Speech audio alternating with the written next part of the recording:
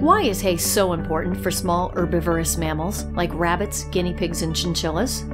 The special digestive tract of these pets is designed to eat high fiber foods, and hay is the best match. Diets low in fiber, for example those containing grains and other carbohydrates, are linked with digestive tract upset, which can be dangerous for these pets. Hay also can help prevent dental disease.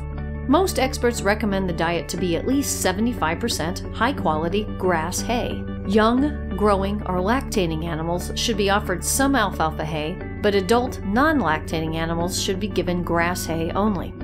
There are a variety of grass hays, like Timothy, Orchard, Botanical, and others. All are great for rabbits and provide variety and interest. Hay based treats are also available, which are better than sugary treats with grains.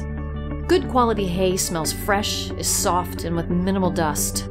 Color varies from green to a slight brown and will vary depending on the variety, cutting, and source. For optimal health, be sure hay is the most important part of every rabbit, guinea pig, and chinchilla's diet.